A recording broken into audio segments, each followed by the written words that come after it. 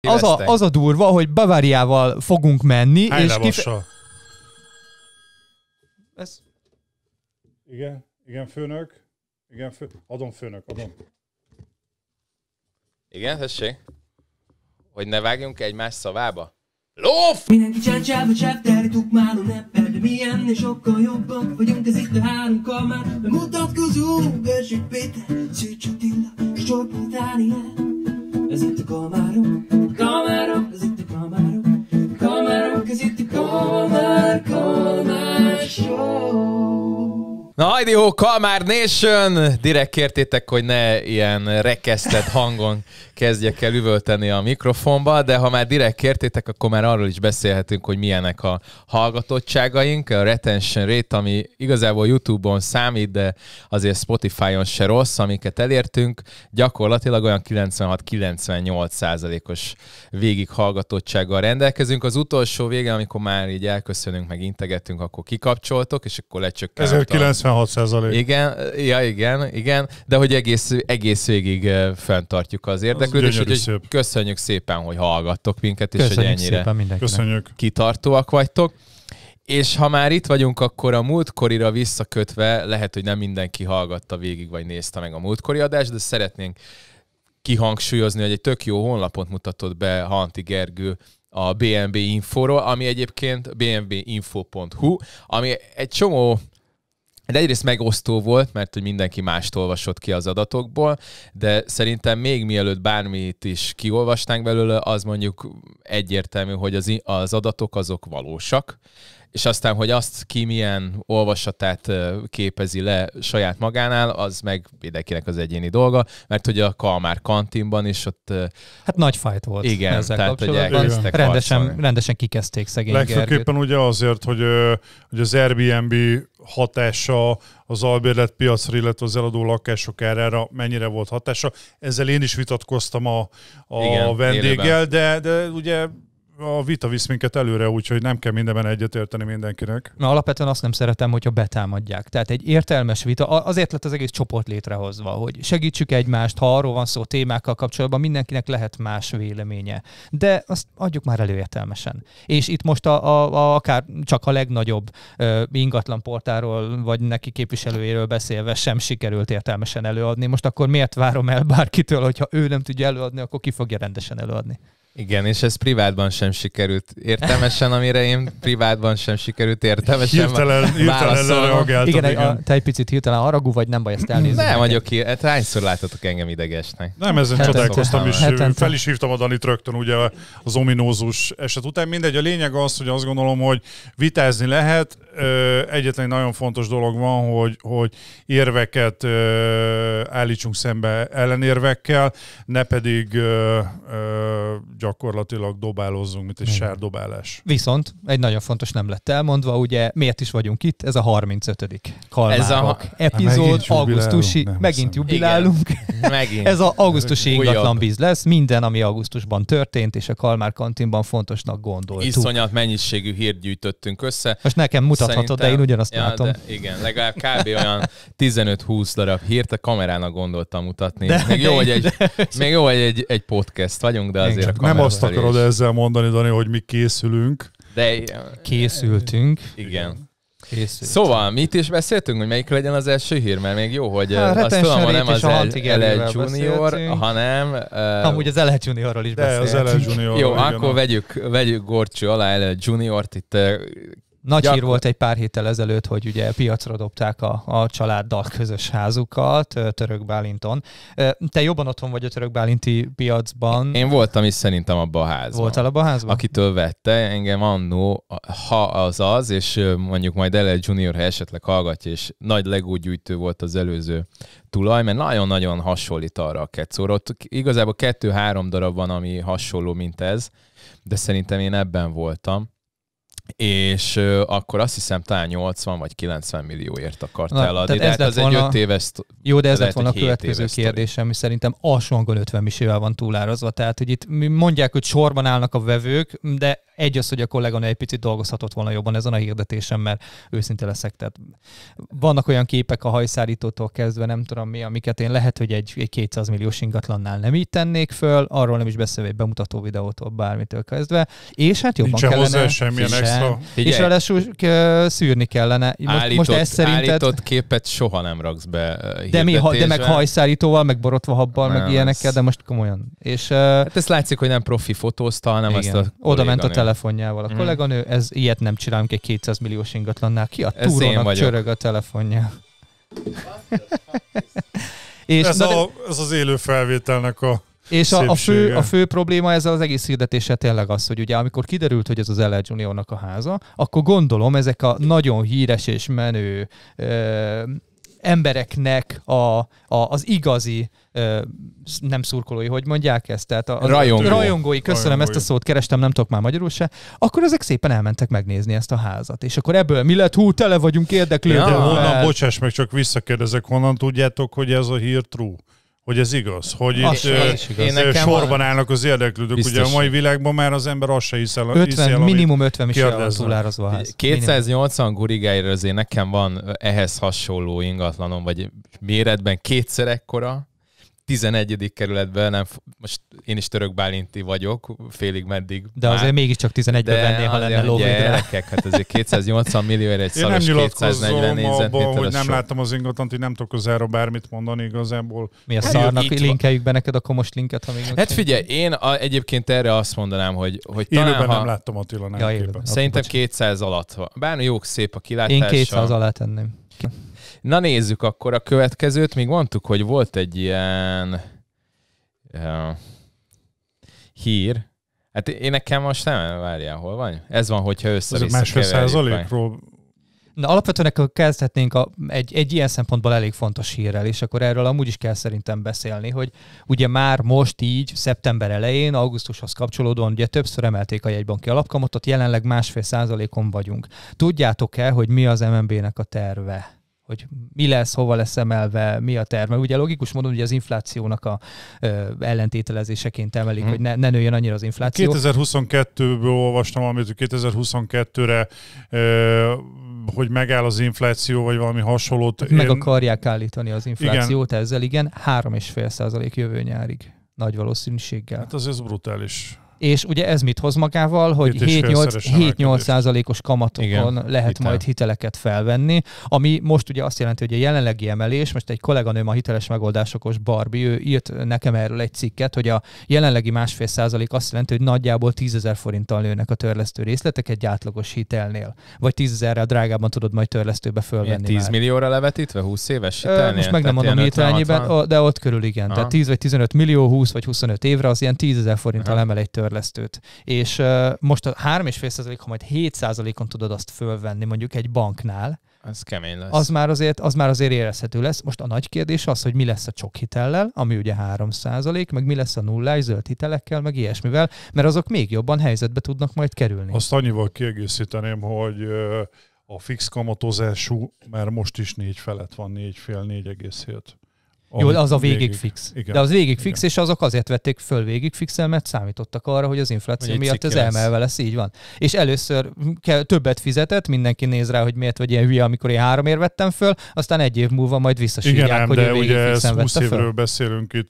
Itt most a jövő 2022-ről beszélünk, hogy addig mi várható az inflációban, de mi van a következő 19 évvel. Szóval én azt gondolom, hogy jelen pillanatban az a pár százalék, vagy ez az egy-másfél százalékos különbség megéri azt, hogy végig, legalábbis az én véleményem szerint végig fix kamatozáson vegyen fel az ember hitelt, mert nem éri meg. Itt majd ha áttérünk a bankmonitor cikkére, itt van egy nagyon jó táblázat, ahol számszerűsítve vannak itt a különbségek, és ott azért érzékelhető az, hogy, hogy, hogy tényleg érdemes a fix kamatozásút Akkor választani. térjünk át. Ez a, azzal a címszóval jelent meg a bankmonitoron egy cikk, hogy értem, hogy emelkednek a hitelkamatok, de mit tehetek most?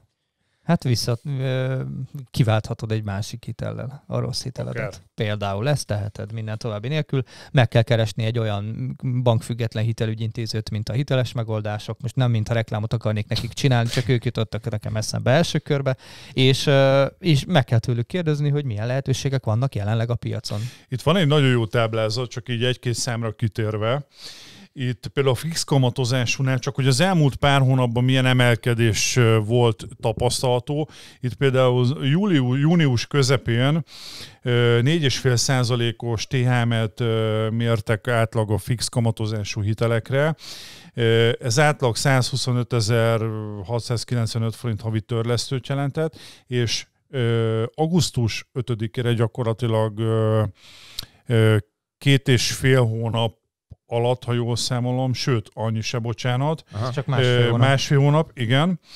Gyakorlatilag, ha végig vesszük a teljes 20 éves futamidőt, már a 20 év alatt több mint 1 millió forinttal többet fizet vissza, és eltelt másfél hónap. Tehát csak emiatt a 4 százaléknyi THM emelkedés miatt plusz millió. 5000 forintos törlesztőrészlet és plusz 1 millió forinttal 20 évre történő. És ezt a három és felet kiszámolta egyébként, hogy mit fog jelenteni kb. ilyen Hát futamidőknél? Hát a nem, nem mert ugye ez most egy ilyen prognosztizáció, most meglátjuk, hogy hogy alakul az infláció, de addig fogják emelni az alapkamatot, amíg nem tudják helyrehozni az infláció okozta károkat. De a matekban ugye az arányok működnek. Az azt jelenti, hogy ha most másfél százalékos az infláció, és három és fél százalékos lesz, akkor nagyjából, ha követi, követik a hitel... Több az hitel infláció.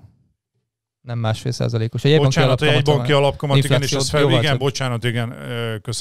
Ö, Felemelik 3,5 százalékra, akkor nagy valószínűséggel közel arányos mértékben fognak nőni a banki kamatok is, legalább, legalábbis eddig nagyjából így történt. Ez azt jelenti, hogy az közöbből két és fél százalék, az jövőre simán lehet, hogy már ö, 20 évre levetítve két és fél millió forint többletfizetés fog eredményezni. Szerintem ebbe a csoportba vehetjük azt a cikket is, amit meg az ingatlan.com által jelent meg a Forbes-on, azt hiszem, hogy hogy 10%-ot csökkentek az ingatlan árak, azt hiszem valahogy. Ja nem, bocsánat, 10%-ot nőttek a, az új építésűek, illetve viszont a belváros, vagy Budapesten meg csökkentek az ingatlan árak globálisan, és hogy én igazániból azt látom, hogy egyrészt a, a kamatemelkedés az, az majd csökkenteni fogja a hitelfelvételnek Ez a, egyértelmű. Ez egyértelmű. ami sokkal kevesebb tranzakciós számot, és már van egy másik oldalról is begyűrűző hasonló vonalú vektor, ami hasonló irányba mutat, tehát hogy így most egy kicsit úgy néz ki, hogy, hogy elég sok helyről azt lehet érzékelni, hogy talán lassulni fogja az ingatlan piac, ami nem tudom, most 130 ezer volt azt hiszem 2020-ban az el- eladások száma, tehát hogy lehet, Sőt. hogy ilyen száz alá bebukunk, vagy száz Azt környékén. azért nem hiszem egyébként, mert az új építésűek a csokkal, meg a zöld hitellel ilyesmivel szerintem tolni fogják valamennyire a piacot, de arra nincs mindenkinek lehetősége. pár napos hír, hogy idén biztos, hogy még emelkedni fognak az új építésű négyzetméter árak. De ez meg az alapanyag miatt. Tehát mi azt ennek több összetevő olyan az alapanyag, jó munka, árban. munkaerő, ö, keresletnek a csökkenése, ugye ennek számos összetevője lehet, hogy miért emelkedik. A lényege nem fog változtatni, emelkedni fog. Ugye emelkedik a jegybanki alapkamat is, ebből kifolyólag egyértelmű, hogy kevesebb lesz a deal, legalábbis szerintem.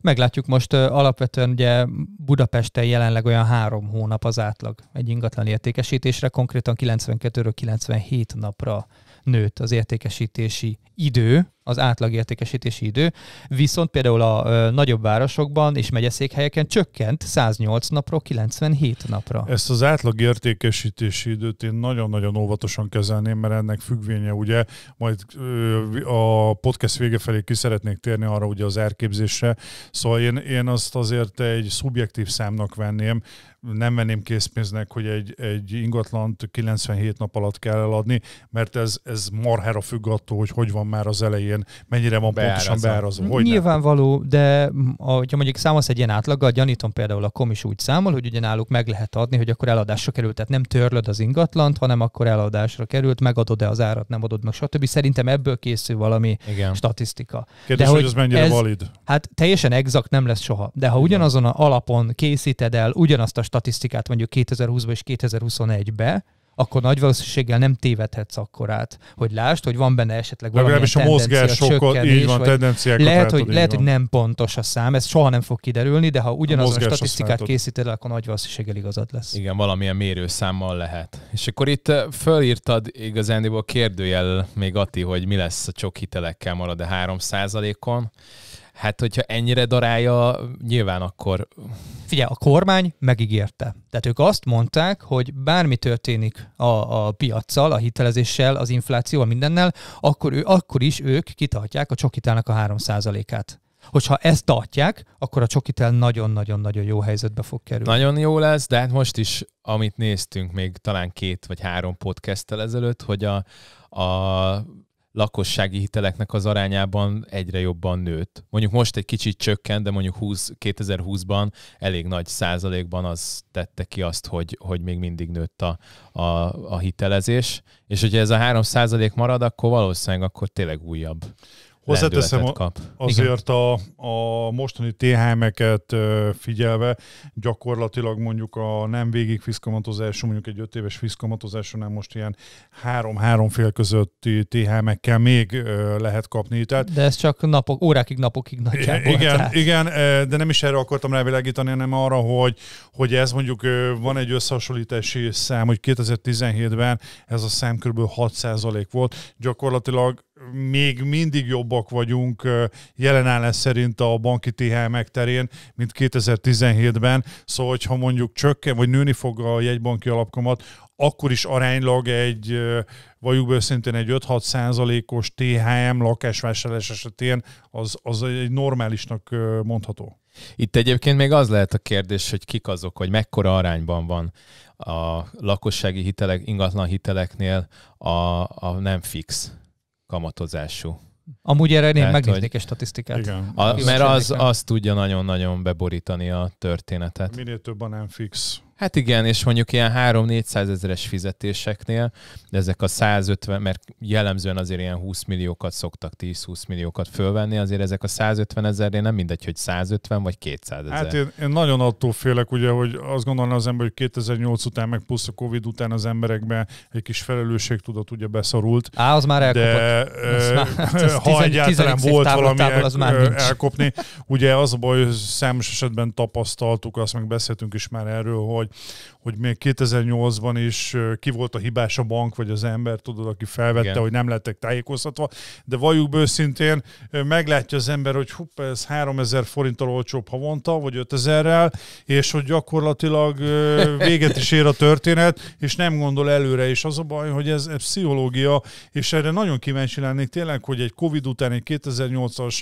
ö, 8 évig tartó válság után hogy alakul, hogy mennyire lettek felelősségteljesebbek az emberek? Egyébként ez most csak ebben a pillanatban jutott eszembe. Kéne egy olyan figura, aki ezekben a számokban nagyon nagy Hát vájár. valami banki be kéne rángatni kéne ide, és Na, akkor... akkor ha hallgatod az adást, és van ilyen kapcsolatod, vagy te magad ilyen ember vagy, akkor ír nekünk a halihókukat kalmárok.hu-ra, és kitalálunk valamit, hogy mikor jöhetnél be. Vagy jó? behívunk, vagy, vagy telefonon felhívunk. a Az is jó, bármelyik jó, szívesen látunk itt bárkit, nem áruljuk el hol a stúdió, majd ide kell találni. De micsoda csukjával a fején. Így van, Egy, egy- egyébként, egyébként most jutott eszembe, nem csak az- azt felejtettük el, elmo- felejtettem el, elmondani, hogy hányadik résznél tartunk, de Nem be voltunk sem bemutatva. mutatkoztunk. Nem de... számít, majd kiírod a neveinket, aztán Igen. kész. Nem, nem dráma. Badum. Badum. Na, Na. jó, nézzük akkor a következőt. Volt ez az 1%-os iroda, és Oh, yeah. már egyből ugye jöttek alatta a kommentek, hogy amúgy az az 1% az amúgy három. Három, Ez igen. így van. Mert ez a fix egy, ez, ez egy baromság. Tehát, hogy, tehát van az ingatlan közvetítési szolgáltatásnak egy, egy ára. Az az ár mindenkinek a fejében lehet szubjektív, de van egy bizonyos összeg, ami alá egyszerűen lehetetlen bemenni, mert akkor a szolgáltatás rovására fog menni. Az, az egy százalék, az csak a hirdetés. Tehát itt is egyébként ennél az oldalnál semmi más nem csinál, csak profi fotókat ö, csinál, és felteszi neked az oldalakra, és várja a csodát, még csak nem is mutatják be, mert azt is a tulajdonosnak kell. És ezért elkérnek egy százalékot, amit egyébként te magad is meg tudsz csinálni, mert kihívsz egy fotós 10 000 forintért, meg fölrakod másik 10 000ért. Nem. Nekem más a véleményem. Nagyon okosak. Mert Róka tejet szoptak gyerekkorukban. igen, igen és, és nem is akármilyen rókáért, ugyanis. Róka, Róka László bemutatkozó. Ö, igazából ugye nekik háromféle sávozás van az árban, 1-2-3 százalék, és ugye a 3 százalék alatt vannak azok az extra szolgáltatások, amik mondjuk én szerintem már illene, hogy alap legyen az ingatlanosoknál, és ugye van a, nem akarom reklámozni a Weisslernek az Árazás 48 Igen, igen, igen. törvénye Ott- című könyvét, Ott van Neked is valahol. Persze, hogy megvan. az egy alapmű, és gyakorlatilag ott van az, hogy ö, ö, egy terméket másik két termékkel hogyan kell eladni. Itt, itt abszolút nagyon okosan felépítve arról szól a történet, hogy ö, pszichológiailag hogyan fogja a 3%-ot eladni az 1 meg a 2%-os hasából ennyi. Szóval, hogyha Csáldinira rákötünk, akkor az elköteleződés elve, azaz valahol azt mondod, hogy oké, okay, ez kell nekem, és amikor már kimondtad, akkor már jöhetnek az upsellek, és rátolnak minden baromságot. Mindent is. Igen. ingyenes 30 ezer forint értékű energetikai tanúsítvány. Az mivel tud többet, mint az én 14 ezer forintos energetikai Bocsánat, tanúsítvány? akkor nekem meg 10 ezer fix. Na hát neked fix 10, Na, akkor- én 14-et csináltam. Már rögtön egy 20-assal Nek- beljebb van is egyébként ingatlan. ingyenes, 100, 14. ingyenes 100 ezer forint értékű ingatlan értékbecslés. Tehát még a banki értékbecslés a feléje csinálja. Igen. Hát várja mondjuk, ha egy érték, mondjuk egy nagyobb lakást csinálsz egy értéktanúsítványjal, az azért ö, Jó, de akkor 50-60 egy ezer forint 400 még a, az ismerősünknél is. Most Jó, de kellett- 50-60, de nem 100.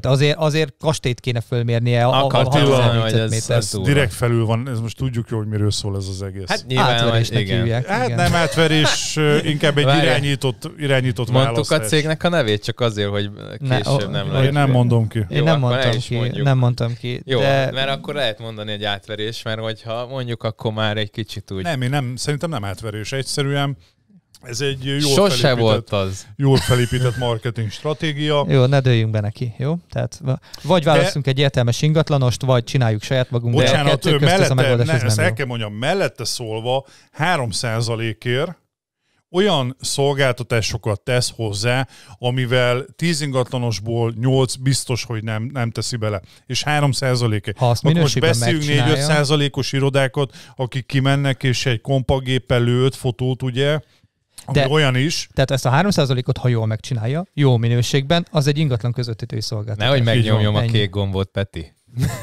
Még nem érte bele magát, Igen, még csak még 20 Figyelj, figyelem, így, figyelem az kezedet, hogy Mert itt nagyon megint rámentél erre. De egyébként azt akartam mondani, hogy 3%-ban benne van a fix egy, tehát nem mondanak hülyes. Én is egyért dolgozom, csak van még plusz 3 százalék. plusz kettő. Hát neki három, hát ő négyen három. dolgozik. Négyed dolgozol. Én négyen. Ja. De most egyébként ellövöm a poén, de na mindegy, adtam egy százalék előny, de mondjuk ott uh, rengeteg ingatlan tolnak most át nekem, úgyhogy Jó, én meg fix háromért dolgozom, úgyhogy normális. ha valaki nem a Danival akar dolgozni ilyen drágán, akkor keressen engem. ő, ő, ő, ő, ő, ő. Kihasználva az alkalmat rögtön. Kihasználva az alkalmat, én elmondom, hogy az ingatlan páholyban én háromért dolgozom, plusz áfa természetesen. Kérem a reklám helye. Nem tudok áfa nélküli számlát adni, csak áfásot. Ennyi. Na, hát akkor nézzük tovább Ati önreklámja után, bár mondjuk én is ráfutottam erre. Nem baj, Az, in, az intim pistáknak a csimborasszója, valaki, egy, egy közös képviselő kirakott a, a házban egy.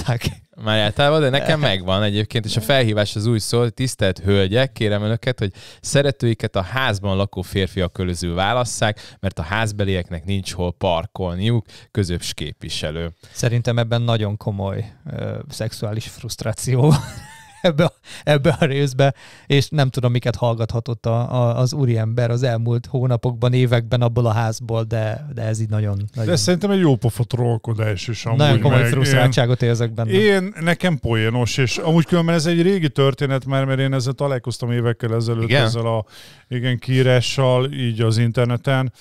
Én viccesnek tartom. Én, Jó. én, én, én Volt egy másik ilyen nagyobb topik, ami szerintem érdemes erről pár szót beszélni, ez mondjuk nem csak magánszemély, sőt ez igazából ingatlanosoknak lehet fontos, ez pedig volt egy olyan kérdés Molnár Tamásnak, hogy hogyan szűrjünk luxus ingatlanoknak a megtekintésénél, pontosabban a vevők közül, és hogy miket vegyünk. És itt egy elég sok jó tippet kaptunk. Mi, amiről szoktunk már általában beszélni, hogy, hogy azért nézzünk utána, hogy az, hogy ők egyáltalán megnézik az ingatlan, tehát most luxus ingatlanról mondjuk ilyen 200, de inkább 500, meg 1 milliárd forint fölötti Hát ingatlanokról 500-ról, beszélünk, igen, 500. hogy ott, ott hogyan szűrünk. Ati? Hát nekünk vannak azért milliárd fölötti ingatlan megbízásaink is. Én elmondok egyet, és most itt egyébként ezt elmondtam amúgy ott a beszélgetésben is, és többen betámadtak ezzel kapcsolatban. Ö, igazolást kérünk arról, hogy ő meg tudja venni. Hogy ez Jövedelemigazolás. nem feltétlen jövedelemigazolás, hanem akár elkülönítve meg igen, legalább vagy akár egy rész. lecsekkolhatóság. Például azt is megcsináljuk, hogy ha mondjuk megtudjuk, hogy neki milyen cégei vannak, megnézzük a céget, hogy annak milyen árbevétele van, stb. Most, hogyha én látom, hogy neki van olyan két KFT-je, aminek mind a kettőnek a tavalyi éves árbevétele bőven milliárd fölötti, akkor tudom, hogy nagyjából ő össze tud rakni egy ilyen ingatlanra, tehát tőle nem kérünk külön semmit. Ő nagy valószínűséggel nem egy bámészkodó lesz, hanem neki ö, külön szabadidőt kell arra létrehoznia, idézőjelben, hogy ő meg tudjon nézni egy ilyen típusú ingatlant, ő nem bámészkodóként fog jönni. Sima bámészkodót, aki azt mondja arra a kérdésre, hogy akkor a, hogy tudja megoldani a finanszírozását, arra megsértődik, azt ki se visszük. Nekem az egész, abszolút egyetértek, nekem az egész topiknál a legfurcsább az volt, hogy ingatlan közvetítők, ugye, hogy a hozzászólásoknál olvashatunk több ö, olyan jellegű hozzászólást, ahol ö, ezt, ö, ezt problém, problémának vélték, és azt mondták, hogy hát ö, figyelj már, hát, hogy én megkérdezem, hogy adj már egy igazolásra be, mert elküldenek a, a bús Igen. fenébe. Könyörgöm, a tulajdonossal szemben felelősséggel tartozó, pláne egy több száz milliós ingatlan, akár még egy 30 milliósnál is azért csak egy lábjegyzetként hozzáteszem. Szóval az, hogy te megszűröd az ügyfelet, az, az nem kedv kérdése, vagy, vagy merem, nem merem, kutya kötelessége. Pontosan. És ugye külföldön erről már beszéltünk, volt persze szóba, hogy Amerikában alapból bekérik ezt. Igen. Szóba se állnak veled, hogyha, hogyha nem, nem kapod ezeket meg. Szóval én azt gondolom, hogy egy több milliós ingatlannál ki kell kérdezni, el kell vele beszélgetni azért, hogyha jól beszélgetsz, jól kérdezel, azért nagyon sok dologra fény derül, le lehet csekkolni most már ugye a közösségi médiában is az embereket. Hát Ez nem is- mindenkit azért. nem mindenkit, de azért nagyjából le lehet. A másik például egy nagyon jó bevált kérdés, és az kísértékeknél is működik, hogy amiket eddig látott, ott miért nem történt eddig vásárlás, mi volt az, ami miatt még nem vásárolt. Nem erről- szeretem a Békás megyeren a nyolcadik kerületet. Nem engedtek, akkor, nem akkor miért nézzünk megint Igen. ugyanitt, érted? És akkor vissza lehet kérdezni, hogy szóval ott nagyon sok dolog, és minél konkrétabban válasz, ugye ez is egy szabály, annál biztosabb az ügyfél, hogy csak ilyen általánosságban mondja, hogy már úgy nem volt mit. Azok, azok annál gyengébb vásárlóerővel rendelkeznek. De tuti módszer szerintem nincs. Hát magyarán nem kell feltétlenül nagyon erősen direkt egy zsebbe kotorászni, mert lehet finomabban is kideríteni, de ha ez nem sikerül, vagy, vagy nem hajlandó, vagy nem együttműködő, akkor muszáj azért a zsebben turkálni. Ugye a finanszírozásról kell beszélni Hát, vele mindig. Hitelbírálatról Ez kell is- beszélni mindig, stb. Egy csomó ilyen van. talán megértik az emberek, hogy szerintetek, ha bemész egy, autó, egy, egy, egy autókereskedésbe, hogy az autókereskedés kialakult egy kép, ugye, hogy na mindegy, bemész egy autókereskedésbe, és, és megnézel egy Ferrari-t, és azt mondod, figyelj már, elvinném egy próbakörre. Közben annyi pénz nincs a zsebedbe, zsebedbe hogy a zebrán átmenj, érted? E, és akkor, akkor ki, ki csinálná meg ezt? Ez, ez, ez? Ilyenkor az emberekbe persze egyértelmű, hát nem ülök be a Ferrari-ba. Akkor könyörgöm, a lakásoknál nem ugyanez a helyzet. Semmi különbség nincsen a kettő között. Pontosan, csak ugye amikor az autóban nem engednek be, mert megszűrnek, itt nagyon sok ingatlanos nem foglalkozik ezzel, kimegy, megmutatja bármilyen turistának. konfrontálódásnak érzi Így azt, van, hogy így van. belemenjen abba, abba a kérdéskörbe, hogy oké, okay, rendben van, de akkor nagyjából a tulajdonos szeretné látni azt, hogy ez hogyan, miképp tudod finanszírozni. Ebben semmi gond nincs. Jó, mondjuk azért azt tegyük hozzá, hogy szerintem az a gondolatiság, amit fel volt vázolva, és mondjuk félelmeket ö, mutatott, azért az általában az általános megbízásoknál van. Tehát, hogy mert kapar a, a vevőért, hogy nehogy a másik vigye ki. Tehát, és itt azért nem kérdezget, Ez hogy nehogy megsértődjön, megy el. Egyébként nekem mostanában volt talán kettő-három ilyen, ilyen vevő Akkor átmegy másik ingatlanoshoz, és nem akarod így Igen, és elveszíteni. igen. elkezdi, nekem így is egy hölgynek mutatok, de aztán normális lett. Amikor látja, hogy ez így nem fog működni, hogy erőből tárgyal velem. Nem voltam annyira készséges, akkor, akkor mondta, hogy hányan is, hogy ki is, mert hogy látta ő ezt az ingatlant másnál, és akkor majd ő Nyilván. biztos, biztos ö, engedékenyebb lesz, ami igazából nem volt valós, hanem régen albérletben volt, Eh, még nem is ez az ingatlan, hanem egy a szomszédos ingatlan, és akkor mivel hogy a homlokzati kép az hasonló volt, ezért ő azt hitte, és mondtam, hogy hát tévedésben van, de mondom, próbálkozzon, akkor menjen ki nyugodtan, és aztán fölhívott, és és mint a teljesen kenyére lehetett kenni. Így nekem van egyébként ilyen, hogy uh, egyszer-kétszer megcsináltam már, hogy iszonyatosan bunkon viselkedett velem az ügyfél.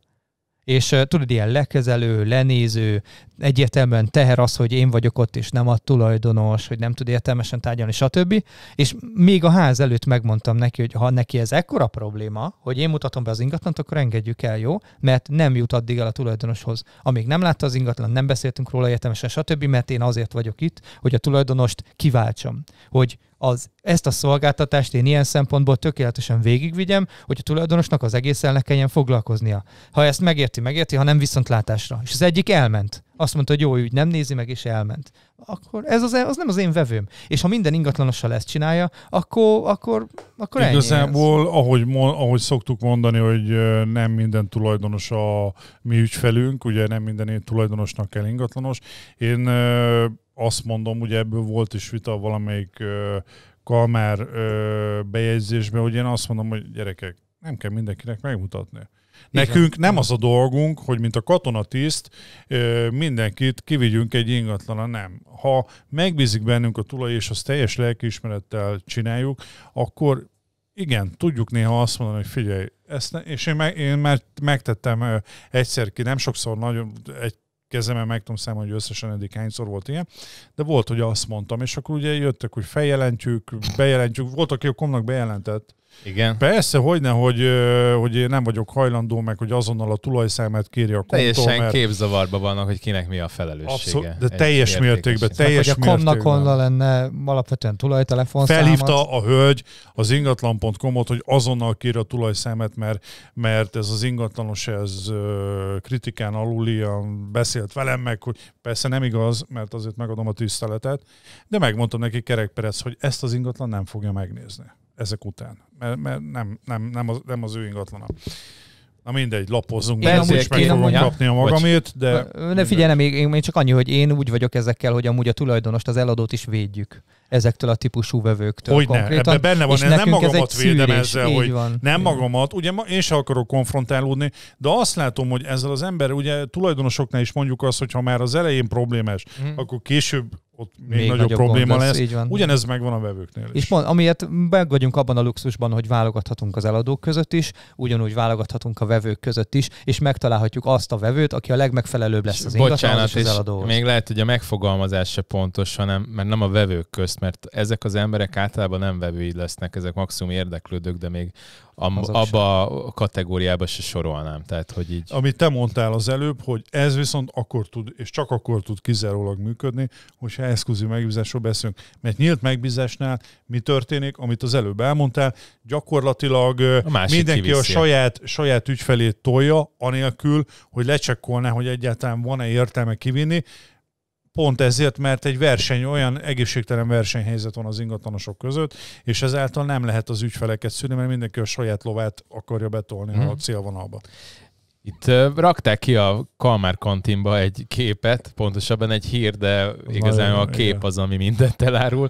Itt pedig egy, egy hatalmas. zetorral, vagy mi is ez, kombájnal aratnak egy társasház előtt, vagy között, mert hogy egy lengyel gazda az nem akarta eladni a telkét a fejlesztőnek, és ezért így a társasházak közepette van egy, egy szántó. Na ami- mennyivel, mennyivel értékeli le, vagy fel az ingatlan árát, hogy búzaföldre nézel? Ez egy, egyébként van itthon Magyarországon ilyen, innen, ahol most podcastünk kb. 5 kilométerre. De Egy mi- ugyanilyen helyzet? Ugyanez van. Hát figyelj, a, kimész a, a Biatorbágyi tóparkhoz, vagy a tóváros. Tóváros. a tóváros lakóparknál ott van egy ilyen Ott helyzet? nincs. Várjál, Nem. most a tópark az a Az Törökbálin, nem? Akkor tóváros A van tóváros, Biator, ahol a. Sportmax van az MLS székhez. A... Nem, akkor a másik. Igen, mert ott nem tudok Tóparkhoz, tehát a tóparkhoz kimész, és ott úgy van, hogy mivel hogy a területeket nem mindegyiket vették meg, meg igazából ott bebukott, meg valami brutális nagy adócsalás volt, meg rengetegen tönkrementek benne, aztán utána később megvették magát a- az ingatlant, és most új fejlesztő az Igen. felhúzta izé.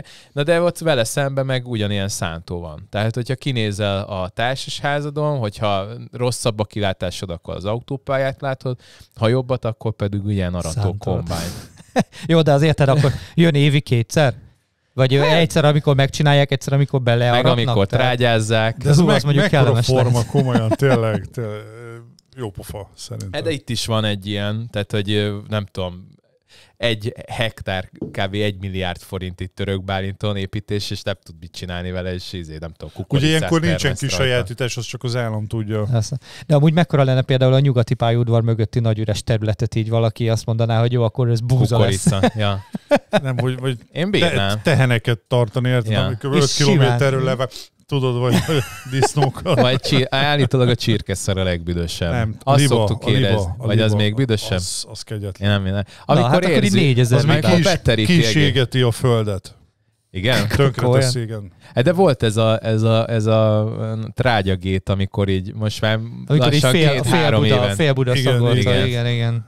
De most megint azt- volt. Tudtátok, igen, hogy az OMS konkrétan belőtte, hogy merről jöhet, és a, Igen. a OMS a rajzolt egy térképet, Jézusom, hogy mely település felől De jöhet. mondjuk az alatt fél Nyugat-Magyarország benne volt viccelek. Á, nem, ahogy észak, észak, Igen, észak, igen, nyugat igen. felől volt, és akkor ilyen kisebb települések közé így betette. De hogy végén kiderült, jött. hogy hol volt, és én azon csodálkoztam, hogy nem, nem volt ez közel Budapesthez. Nem, Nem. arra volt. Ez végig szagolta, az, a felső Igen. 50 kilométer észak De felől mindenki ez végig jó volt, hogy így sétálok, tudod, így az ötödik kerület izé legfenszibb rész, és ömlik a szarszak.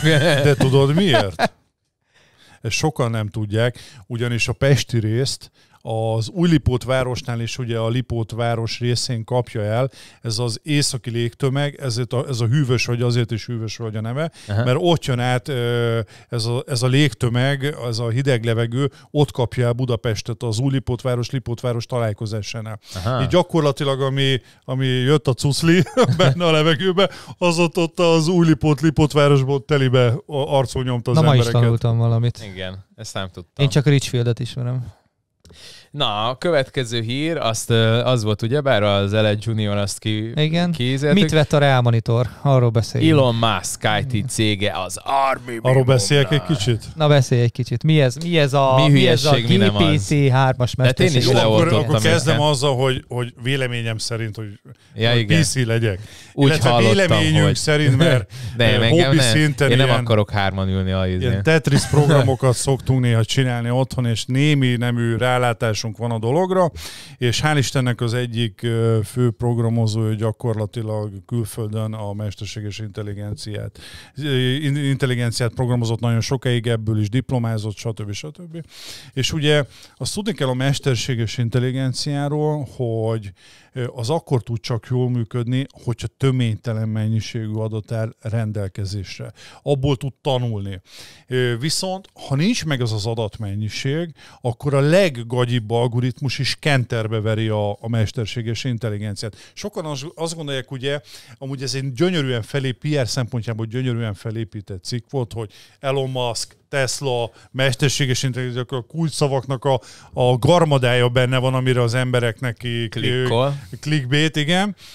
Viszont gyakorlatilag ugye ez azt jelenti, hogy van egy, az Elon Musknak egy, egy ez a, most nem jut eszembe a neve, az a lényeg, hogy ott összegyűjtik mindenféle adatot, amit bizonyos, amit kiadhatnak nektek, és azzal taníthatod a mesterséges intelligenciát.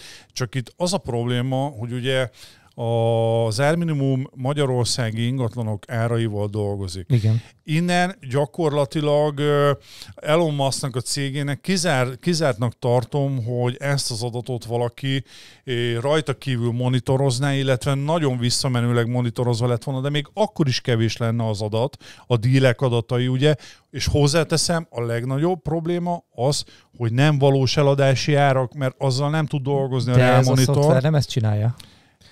De azt is csinálja, hogy... Én úgy tudom, hogy ajánlat, ajánlgatni akarnak vele, nem? Igen, nem, igen, de hát az, figyelj, ez az most ár az az- árminimumot csinálja, tehát ez a, ez a szoftver az árminimumra lett ráhúzva, tehát azt csinálja, hogy összefésüli ugyanazokat az ingatlanokat neked egy listában, függetlenül attól, hogy Igen. más az ára, más a képe, más bármi. Akkor elárulok, elárulok egy nagyon tudja egyszerű oldani, hogy tudja, trükköt, ugyanaz. gyerekek. Elárulok egy nagyon egyszerű trükköt. És, és India. Mester, köszönöm szépen, vagy Pakisztán, ennyi.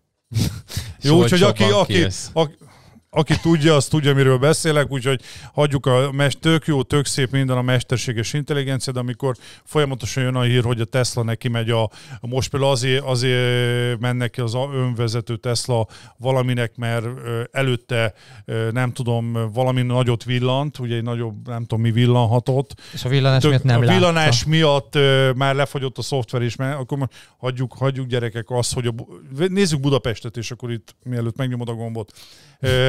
A belvárosi ingatlanokat, a nagypolgári lakásokat a háború idején gyakorlatilag... Peter! Peter, ez nem eszik!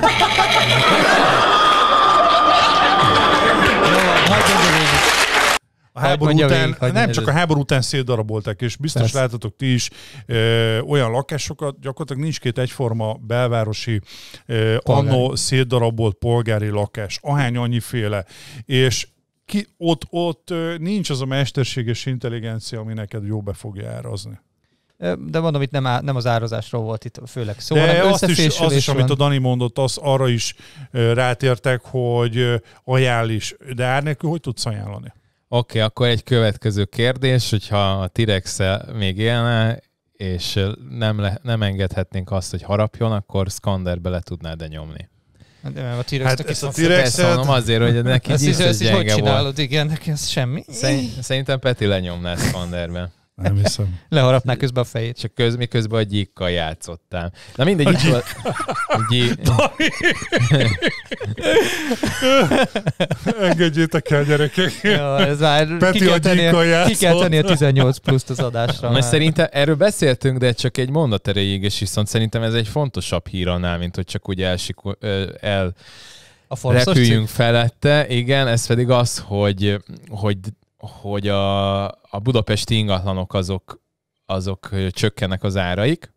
Ez volt az egyik. A másik, ami tetszett, és azt a Balog Laci rakta ki, az pedig az, hogy a piacra kerülő ingatlanoknak hány százalékának kell csökkenteni az árát ahhoz, hogy eladják az ingatlant. Ez egy kicsit bonyolultabb megfogalmazás. Jó, tehát amúgy az van, hogy ugye így is 80 77%, százalék, Dani, az nagyon sok. most tavaly és idén 80 százalék egyébként ez az adat. Nagyon-nagyon sok. Ö, ja, és az átlag egyébként 4 és 5 százalék között van. Ahhoz, hogy eladj Hát egy ingatlant, 4 meg, és 5 százalékot kell hozzá. nem kell, ezt Nem kell, majd vágni. bevágja. Ezt Majd csak megígérem, 50 perc. ezt a kis dobos becsület szavamra megígérem. Csak, Csak, csak soha meg- egy büdös de föl, statisztikát mert, mert utána. Múltkor is megígért valamit, hogy be lesz vágva, és szart se semmi. vágott Jó, be. egyet ke, ezt az egyet kell bevágnom, meg más nem, nem? Meg Ki kell Hát az vágni a elején közepét. tudod a... Ja, a, igen, jó, that's the, na jó. Szóval, hogy uh, Már igen, van én ezt, 15 perc munkája, ugye ez? igen, nyomjátok nekem a, a, a munkaórákat Csináljuk itt a-. Ahhoz képest a helynekenes izét videóval 25 órát bohóc. 27-et, Volt bocsánat. az, igen, volt az 27-30. 30 is Az talán. egy 5 perces videót.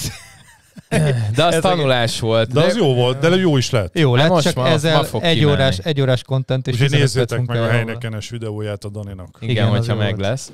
Eskás Ö, csinálta bum. saját leesett kezüleg, minden, A be, minden segítség van. nélkül, úgyhogy... Ez így jó.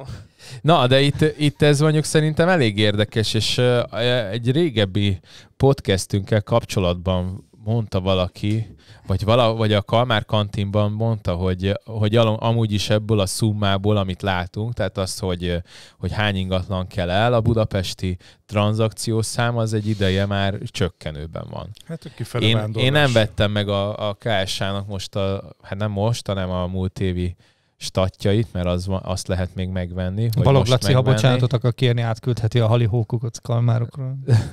Nem hiszem, hogy Én...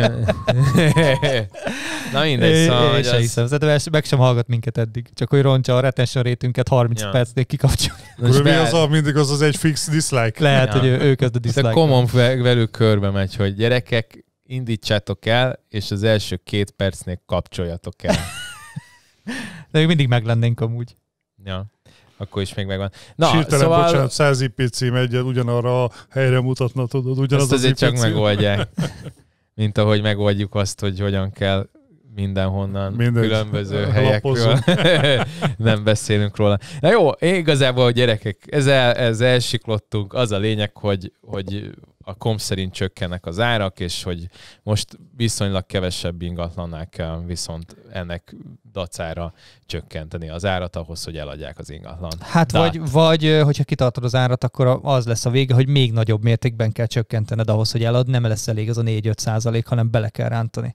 Hát most nem, nem fog utolérni a piac. Tehát, hogy most az van, hogy aktívan kell, én is, mondjuk én am- amúgy is aktívan kezdem a portfóliót, minden héten jelentek, sőt azon belül mondjuk, hogyha mondjuk így kicsit aktívabbak a közösségi médiában, akkor cseten tudok nekik elküldeni Igen, adatokat, igen. és akkor azért lehet látni azt, hogy, hogy most nem teljel mézzel folyó Kánaán van, bár mondjuk most szeptemberben nem tudom, hogy ti mennyit érzékeltek, most másodika van, de én már azt egy, egy kicsit azt láttam, hogy egyrészt nagyon sok felfedésem volt, a telefonszám de nem hívtak. Hát és viszont most elkezdett szeptemberben már a telefonjaim csörög.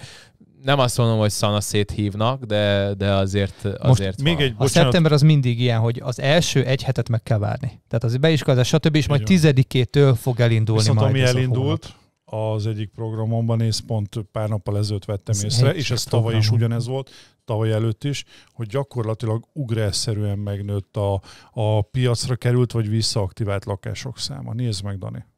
Igen? Amúgy el tudom képzelni, hogy sokan... Három-négyszerese az augusztus közepe előtti számokhoz képest, amennyi akár kerületenként most piacra került magánhirdetések. De amúgy ezt én is Többször csinálom. is, Tehát én kemény. pihentetek ingatlanokat, és én is úgy szoktam, hogy most például nyára két nagy értékű ingatlanomat is levettem, hogy majd most ősszel Ugye csak ez most kicsit arra hajazva, amit a Dani, Dani mondott, ugye ez megint azt jelenti, hogy magyarra lefordítva akár új, akár visszaaktivált ingatlanok, de megint egy nagyobb hullám került a piacra, aminek nagyon jól tudjuk, hogy árlenyomó hatása van. És mi lesz még a moratórium kivezetésénél, mi lesz még itt a hiteleknek az És emelkedésénél. amikor megkérdez a tulajdonos, hogy rájönünk erre még, mert itt hallottam itt a szomszédok mondták, emelkedni fognak itt az árak, és az ember így néz, mindegy, Mert a szomszédok nagyon tudják. Most, Most most minden jele arra mutat, hogy itt jövőre itt érdekes dolgok lesznek az árakban. Eddig is voltak, Lesz de egy, igen. lesz, egy komoly, lesz egy komoly hullámunk lefelé. úgyhogy kezdjünk el kurva sokat eladni. És hogy... mindenki kösse fel a tangát, mert ez itt Mert te fájdalmas. már felkötött. Erre én, én már nem is hordok, már úgy Kicsit vág, de Úgy behúztam, hogy már nincs is Én rajta. ilyen izé, tankinit fogok hordani, itt a borát, tudod, ilyen, Az izé, nagyon ilyen nagy. vára rakós. Nem mered. 10%-ot drágult a lakások az első negyedévben, ez gyakorlatilag a, az új építésű ingatlanokra vonatkozik. Ez megint... Jó, de ez volt megint egy DH elemzés. Ez megint egy átvett cikk, ez, erről már beszéltünk szerintem. Igen, de én ezt azért is raktam be, hogy gyakorlatilag, jó, mondjuk nem ellentmondók, mert az egyik az globális piacról szól, a 10% az meg az új építésű ingatlanokról Igen. szól, tehát, és az első negyed évről, a másik az egy teljesen másik időintervallumról, de minden esetre, hogyha csak így saját magad olvasod ezeket a cikkeket, akkor megint az van, hogy valaki, tehát hogy, mi, hogy el, valaki hazudik, de egy, egyébként nem Ez annyira. megint De hozzáteszem, nem akarom mondani, de ez nem izé, nem DH cikk. Láttam, de a DH elemzés van, De- és akkor megkérdezték őt. Az hogy Attila van. mondta jól, ez, az a baj, hogy nagyon sok ilyen cikket az újságírók clickbaitesse, ugye a headline clickbaitre csinálják, és gyakorlatilag ugye, aki ebben nem olvassa, és nagyon tudjuk, hogy az embereknek a 70%-a csak a headline-t olvassa el, Igen. és innentől kezdve gyakorlatilag És egy azt hiszi, hogy fals képet alakít. tájékozott. Így van. De amúgy is most az van, hogy olvassál indexet, origót, 444-et, telexet, és akkor lesz jobb oldalod, bal oldalod, esetleg középed valami, és akkor talán abból össze tudsz rakni egy értelmes dolgot, mert mindenki azt ír, amit nem szégyel, és amit megmondanak nekik. Tehát rettenetes. Srácok, még akkor utoljára, mielőtt Peti neki kezd a nem is tudom, a, a, a Mondani valójában. igen, mondani, vagy nem, ezért akartam csak egy hirtelen Castrói magaslatokba emelkedő mondani, valami, hogy ő volt az ilyen négy-öt órákat tudott állítólag egyfolytában dumálni a semmiről. Nem tudom, nem De voltam. Peti természetesen nem a semmiről fog, csak Köszönöm. De, de hosszan, sokat. Reméljük nem sokat. Igen, reméljük. Szóval, hogy viszont Érjünk, a... Férjünk bele az egy órás Igen. munkarendünkbe. De volt Az egy, jó, izé, oké. volt, volt, volt egy technikai szünet az egy órában. Jó, kaphatsz egy pár percet. Na szóval, hogy a kalmárokban, kalmár kantinban kitettük, ami a legnagyobb ingatlanos nem is tudom, csoport, 3500 taggal, kitettük, hogy hogyha van nekik valamilyen ötletük azzal kapcsolatban, hogy miről beszéljünk, akkor azt nyugodtan tegyék meg. Volt egy ilyen poszt? Ah, kiraktam még tegnap este. De hát mondjuk nagyon későn, Sehol tehát este Én se 10-kor, Úgy időben 11-kor. kiraktad, Dani. Hát majd ti is kirakhattátok volna. Tehát nem mondtad, hogy én kiraktam volna. Hát Nem. miért nem Én már raktam ki De miért nekem kell... Jó, Én már mindegy, raktam, gyerekek, mindegy, akkor menjünk tovább. Igen, szóval uh, volt egy olyan, hogy zöld hitel, ki mit tud róla. Itt igazából egy kicsit valamit. igen érintettük azzal kapcsolatban, hogy a, a jegybanki alapkamat az emelkedik. Vételni ajánlatok versenyeztetése licit, hogy ezzel kapcsolatban mit lehetne. Ez mondjuk egy eléggé nagy uh, témakör. Én nem tudom, én, én szerintem nekem legalábbis a stratégiám az az, az hogy az átláthatóság. Tehát, tehát, hogy én nem, nekem nincsenek nagy trükkjeim, meg nincsenek nagy izék. Én egyszerűen elmondom, hogy ki mennyire érdekelt abba a másik oldal, tehát a két licitáló között, hogy, hogy, hogy megvegyék, illetve amikor én a második, harmadik, de inkább már a második kör után leültetek mindenkit. Tehát, hogy még véletlenül se legyen az a, az az érzete bárkinek, hogy én, én manipulálom úgy az árat, hogy egy, egy láthatatlan vevővel tolom föl az árat, és, és hogy lehessen látni. Én mert mindig nekem... ettől félek, hogy azt hiszik, hogy Ah, átverem őket. Igen, Tehát mindig én, attól én ezért félek, szoktam igen. leültetni őket, hogy lássák, csak akkor leültetsz mindenkit, tehát leülteted vevő egy, vevő kettő, vevő három eladó? Hát azért vevő három az, az még nem volt. Nekem Nekem, volt. általában kettő szokott lenni, Nekem akik volt. egymásra akadnak.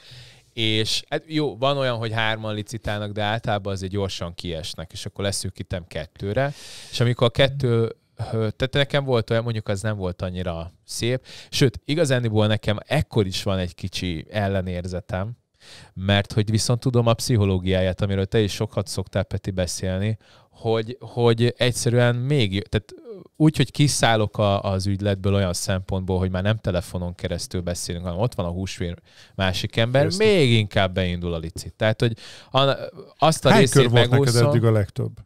Hát figyelj, a legdurvább az egy 65 milliós házikó volt, és 80 ér adtam el. De hány körből jött? Hányszor kellett licitálni? Hány licit kör az volt? az volt, Leültetés azt volt, leültettem. Az Elmondom neked, hogy ültetni. 65 volt De a úgy érted, hogy két vevő plusz eladó, és akkor... Igen, Igen. és nagyon ciki, az mondjuk nem volt, egy, nem az, hogy nem volt szép, nem volt olyan könyvbe illő, Az mert az kemény? lett volna, hogy, hogy beülünk a házba, szépen leülünk, egyébként volt ott egy jó nagy asztal, mert irodának volt kiadva, és akkor gondoltam, hogy ott akkor megbeszéljük. Tulajdonosnak szóltam, eh, akkor én a, mindig kulcsal mutatom, de ott úgy volt, mivel hogy iroda volt, ezért mindig az iroda engedett be. Tehát mert nagyon nagy értékű dolgok voltak benne, ilyen több milliós ilyen nem tudom, műszaki cuccok. Gépek. Igen, és akkor mondom, hogy akkor találkozzunk ott, és a tulaj meg elfelejtette, mert hétvégén volt, elfelejtette hozni a kulcsot. Jó Jó. van, akkor bassza meg, mit csináljunk. És akkor a diófa, volt ott egy kiszáradt fostos diófa, és az alatt oké, Annak mondtam, hogy leültetek? álltunk, és akkor mondtam, hogy hát elnézést a körülmények miatt. Hát legalább egy étterembe beülhetetek volna. Hát de figyelj, Hát hogy de- csináltál plusz 15 milliót a 65-ben 80-at egy diófalat? Ezt nem neki Figyelj, kell már ilyenkor Itt megcsinálnia. kezdődik, itt kezdődik Itt kezd- a hát- profizmus. De nem, nem, nem, tehát ez ilyenkor már nem ő csinálja. Tehát ők ilyenkor már, ez egy versenyszellem, Hát ami kell, hogy- ilyenkor kell, kialakul. kell legyen. Egyébként volt benne egy engedheted ki állam... agyeplőt. Egy, egy mindegy, nem is, nem is részletezem, szóval, hogy volt, akik Nem magyarok. s- nem, nem, nem, nem, nem, hanem Próbálj PC lenni. és nem, nem is akarok ebbe belemenni. Az a lényeg, hogy a két em- 65-re elmentek, és akkor a, a gyakorlatilag, vagy 65-re elindultunk, vagy nem, akkor már 67-nél tartottunk, azt hiszem. És már olyan két milliónál az ár fölött is mondtam, hogy akkor ezt így ne csináljuk, akkor hogy leüljünk le, és akkor ott elkezdődött a licit, gyakorlatilag nem tudom, három perc volt. Az Tényleg? egész. Ott, ü- ott ültünk, a tulajdonos meg se tudott szólalni. What, what is this? És, és hogy, kér, hogy kérdezem, normálisan lezajlott? Mert nem volt belőle a Kultúrát rossz volt mindenki. kultúrát volt? Ah, kultúrát volt, de azt azért érezte. Nem azt mondom, hogy szarul jártak, mert, mert, mert nem jártak szarul, mert tényleg ott a környéken gyakorlatilag 100 millió alatt nem volt. Tehát 11. kerületről beszélünk, Albert falva, 100-110 millió alatt nincsenek ott házak. Ennek az volt az előnye, hogy kicsi volt, és ezért fajlagosan alacsony volt a négyzetméter ára. Tehát jó járni, jó jártak, de azért 15 millióval többért megvenni az úgy net. Viszont Hát vagy nagyon a licit, maga a Nem. licit intézményének ö, a lényege az egy kőkeményen pszichológiai épülő dolog nekem. Az ismerősöm, akik visszavett ingatlanokkal foglalkoznak és licitáltatnak, és ugye erről már beszéltünk, hogy sok esetben a végeredmény piaci árfeletti értékesítés, és mosolyra fakasztó, bár most nem akarok senkit megbántani, de az, és ennek ugye semmi más ö, oka nincsen, hanem ugye amikor te belelépsz egy licitbe, azt mondom, hogy jó, akkor találkozunk a diófalat, már benned egy elköteleződés kialakul. Onnantól kezdve a versenyhelyzet, hogy én akarom megszerezni, ez most egy pszichológus biztos el tudná pontosan magyarázni, hogy ez, ez milyen belső folyamatoknak az eredménye, de pláne a személyes licit, ugye nem a telefonon történő Mhm. mm. egyeztetés, és tényes való, hogy, hogy a nagy aukciós házak nem véletlenül alkalmazzák ezt, mert száz éve, hogy leültetik az embereket és licitáltatnak, mert így lehet gyakorlatilag kimaxolni a, Így a van. pénzt. Így van. Egyébként az árazással kapcsolatban, akkor ennél a kecónál vettem észre ezt az anomáliát, ez viszonylag egy régebbi történet, hogy ha tehát ezt is fajlagosan sokkal magasabb négyzetméter áron kezdtem el hirdetni. Mert hogy hogy ha van egy olyan terület, ahol, ahol mondjuk 200 négyzetméter alatt nincsenek ingatlanok, és ez mondjuk 11-ben ez ül, családi házas résznél, ott például ez egy, het, azt hiszem 70 vagy 75 vagy 80 négyzetméteres házikó volt. És gyakorlatilag a, a négyzetméter árba kb. ilyen 49-50 millió jött ki. És azért mondtam a tulajdonosnak, hogy egyszerűen nem, hogy 80 millióért, 100 millió alatt se volt ingatlan. És mondtam neki, hogy, hogy kezdjük el drágában De hirdetni. ilyen mert helyzetben hogyha- nem négyzetméter áron keresnek az emberek. Ugye ez nem panel, ahol négyzetméter árat tudsz lőni megfelelően. Tehát fajlagos négyzetméter itt nem játszik. Hát, de valahogy be kell tudnod árazni. Tehát, Nyilván, de a környékkel, a környékkel árazod. Ugye ez kereslet kínálat. Tehát ha, ha valamire pici a kínálat, és viszonylag nagy a kereslet, akkor azt fajlagosan nagyobb Így négyzetméter áron van. tudod eladni, független attól, hogy a környéken milyen árak vannak. Abszolút így van. Ugye árazásnál mindig nem csak azt kell figyelembe venni, hogy, hogy a többi ingatlanhoz képest te hova pozícionálod, ugye, és ezt felejtik el nagyon sokan, azt is meg kell nézni, hogy az adott hasonló ingatlanokból per pillanat azon a környéken hány darab van eladó. Nem Vagy mindegy, hogy kettő egyáltalán, igen. vagy Igen. 82. Így van, így van, így van. És egyébként utána én ott azon a környéken adtam el másik házakat, és 110 ér azért már igen Komolyabbakat lehetett Igen, kapni. hát ö, Nem nagyon. kicsit. Jó, Tehát csak az ott 80 és a Fómini 110 közt 2006 azért van különbség. 2006-ban épült, nem tudom, minden tip-top, csitti-fitti, nem kell hozzányúlni, tehát nem kell hozzá. Ez egy, Medence. ez egy 60-as években épült, ö, oldalhatárosan beépült ház volt. Tehát, Azok- hogy az a régi... Érdekes. het, Aha. egy, egy kádárkocka szinte, csak Aha. nem teljesen az a klasszik. négyzet. Aha. Na, de ne, ne akadjunk meg itt, mert ez itt egy elég hosszú story time volt. Mondd el, hogy mit szeretnél, Igen. Péterünk. Igen. Igazából egy kis, hát szívem szerint egy kis edukációra szeretném a végén kihegyezni, akár talán, ha elfogadjátok ti ingatlanos kollégák, és legfőképpen a tulajdonosoknak szól, de a lényeg a lényeg, csak gyorsan elmondom a sztorit. Egy kedves kollégám, elég ügyes az ingatlan szakmában, mesélte két nappal Köszönöm. ezelőtt, hogy nem rólad van szó. Azt mondta, hogy eléggé ügyes. Ja? Gyakorlatilag arról van szó, hogy megkérte egy tulajdonos, mert másfél éve sikertelenül próbálkozik az értékesítése. Ugye gyorsan a sztorit azt annyi a lényeg, hogy nagyon sokáig ez egy 71 négyzetméteres közepes állapotú kétszobás lakás. Nem akarok belemenni, hogy a 71 négyzetméterben csak két szoba van. Igen. milyenek. Ennek nagyjából azt tudni kell, hogy a reális ára most jelen pillanatban a piacon a kezdeti, amiért érdemes elkezdeni hirdetni, az max a 60-59,99. A, a felett esélytelen az egész sztori. Ugye elkezdte 75 millió forintért másfél évvel ezelőtt, semmi. Az utóbbi fél évben lement 71,9-re, és belépett a képbe három iroda. Természetesen a tulaj elmondása szerint meg se próbálták ott az árral kapcsolatban esetleg egy picit edukálni a tulajdonost, és arra ment ki kőkeményen az egész történet, és ezt nehezményeste is a tulaj, persze mi tudjuk, hogy ez hogy működik, hogy ki, oké, okay, csak hogy kizárólagossággal be tudják, be tudják cuppantani magát az ingatlan. Nem sikerült, úgyis elvállalták, ugye nyílt megbízásba 71-9-ért, és ugye lassan fél év eltelt, semmi nem történt, semmi érdemleges dolog. A kollégám átvette, megmondta, hogy figyelj, akkor dol- dolgozhatunk együtt, de innen kezdjük az árat, vagy akkor elköszönök. De mivel volt egy ismeretség, meg tudta, hogy azért szakmailag ott van a srác, volt egy bizalmi alap, szakmai kép felépítés, nem akarok belemenni. A lényeg az, hogy kitette a másik három irodát, és most elkezdődött reális áron a hirdetés a lakásnak, és ebből nekem, amit én ebből szeretnék mondani, és ez nekem óriási szívfájdalmam, hogy, hogy ki, én szeretném, hogyha, hogyha egy, egy, egy olyan kis közösség akár, vagy ilyen ö, ö, szakmai dolog kialakulna, hogy igenis határozzuk el magunkat, húzzunk egy vonalat, hogy nem vagyunk hajlandóak felvenni irreális áron lakást. Nem arról beszélek, hogy mondjuk két-három, max. 4 millió forint a felé van lövés, akkor gyorsan beárazzuk pár hónap alatt, ugye, picit magasabb Igen. áron veszük fel, mert ez, ez működik. Így gyerekek 10x millió forintos túlárazásokról beszélek, és ez egy nagyon fontos dolog.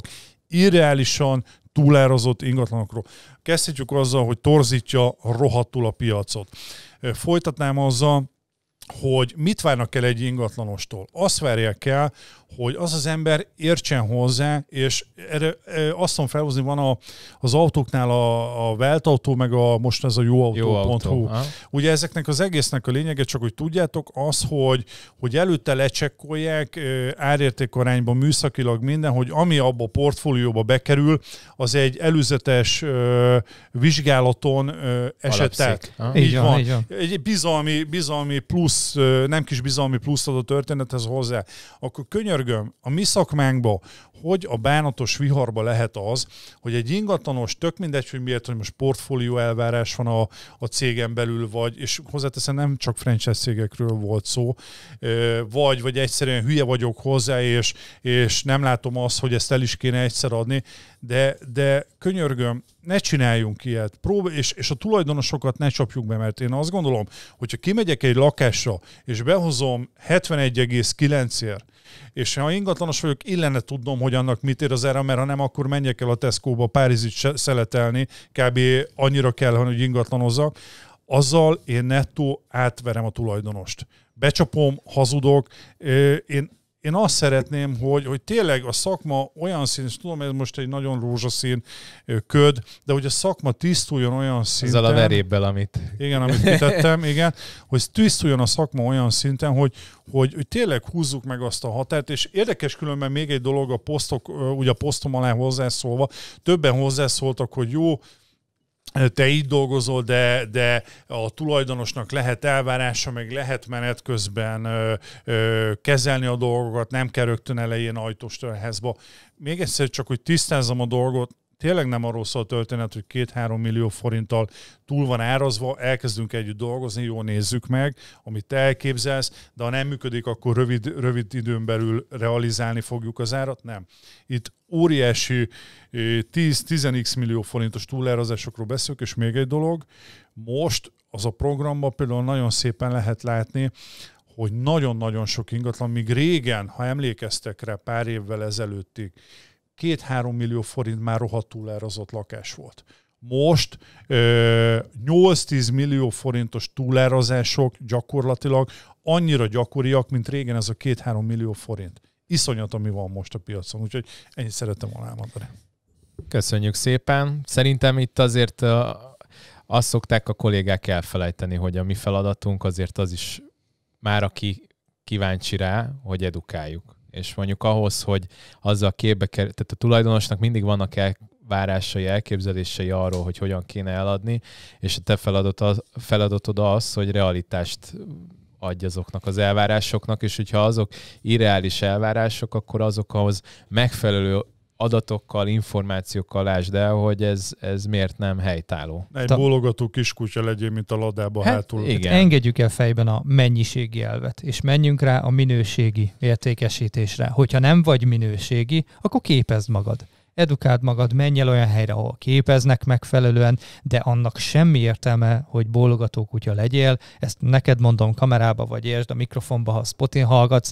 Nem az a lényeg, hogy aláírasd vele a szerződést, és az irodába villogj bele, hogy neked megvan a nyolc. Ez nem ingatlan. Legyen inkább, pénz. de abban nem Se. lesz pénzed, legyen inkább három megbízásod, de az a három, az legyen minőségi megbízás.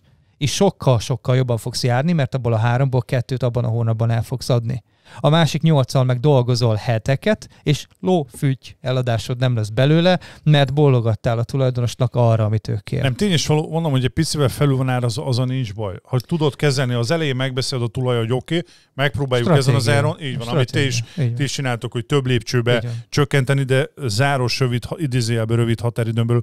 De gyerekek, tényleg nézzétek meg, érdemes egy fél percet rászállni.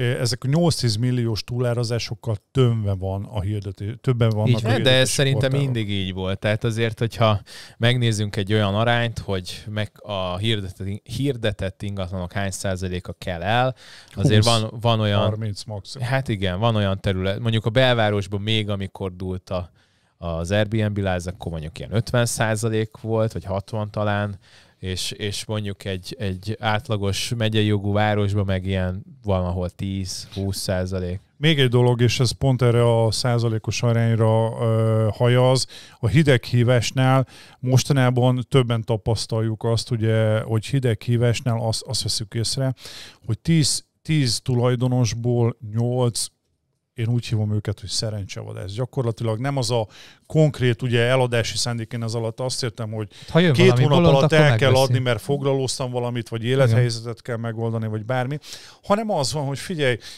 van ez, hát ha most Nem ö, februárig kell. nem megy el, akkor nincs kótya vetje. Nix kótya vegye. Pontosan. Szóval ö, óriási számban megnőtt a, azoknak a tulajdonosi hirdetéseknek a száma, ami, ami semmi más, mint szerencsevadászat. Ez a, igen, ez a, ha jön valami hülye, aki ennyire megveszi, Veréb. akkor viheti. De nem Ennyi. jön. Csirip, de csirip. nem jön. De nem jön, de nem, ez- ez jön. nem az ez a nem az a piac. Azért tettem ki azt a képet. Igen. Veréb. Jó, hát srácok, én még arra gondoltam egyébként, de már nem fogunk semmi másra ráúszni. Volt még egy kérdés a Kalmár kantinban, úgyhogy Azt bocs, megválaszoltuk hogy amúgy. igen, akkor Igen. megválaszoltuk, uh, illetve még kaptunk egy csomó e-mailt, amit Ati azt, az nagyon lelkesen és, és jó fejen megválo- megválaszolt, úgyhogy köszönjük szépen a leveleket. Nem tudom, hogy arról beszéljünk-e, Köszönjük, vagy volt. neked is. Igen, neked is Nyilvánvaló, hogy köszönjük. Este fél A re- 11-kor a gyereket altatom, és a másik kezemmel meg e-mailt írok a Gépen.